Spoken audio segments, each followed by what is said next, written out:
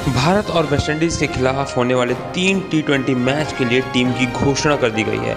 आपको बता दें, इस टीम से कप्तान विराट कोहली का और धोनी दोनों का नाम गायब है। कोहली को आराम जहाँ दिया गया है तो वहीं धोनी को खराब परफॉर्मेंस के चलते टीम से बाहर किया गया है। ऐसे में चुना गया है रोहित शर्मा को, शिखर धवन, के राहुल, दिनेश कार्तिक, मनीष पांडे, श्रेयस अय्यर, ऋषभ पंत, कुणाल पांड्या, वाशिंगटन सुंदर, चहल कुलदीप यादव, भुवनेश्वर कुमार, बुमराह खलील अहमद, उमेश यादव और शहबाज नदीम।